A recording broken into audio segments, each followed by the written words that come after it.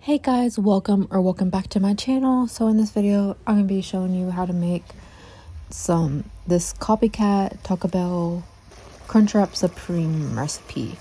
But anyways, first you're going to brown your ground beef and then you're going to go ahead and season it with your taco seasoning. This these are the two that I'm going to be using since I'm using two because I used two pounds of ground beef. So if you're using one, you'll use one and then follow the instructions that says on the taco seasoning packet. So I went ahead and poured it into our ground beef and now I'm just gonna stir it all up, make sure everything's well combined. And then moving on, we're ready for the first official step. Wait, we already did our first official step, but anyways, y'all know what I mean. But so you're gonna get your tortilla, put some nacho cheese on there, some ground beef,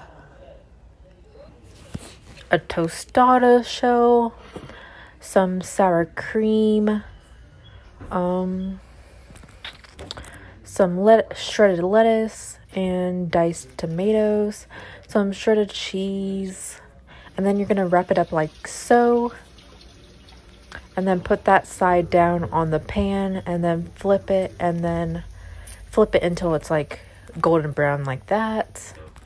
And then that's what the end result looks like. Hopefully you guys enjoy this video. Please like comment share and subscribe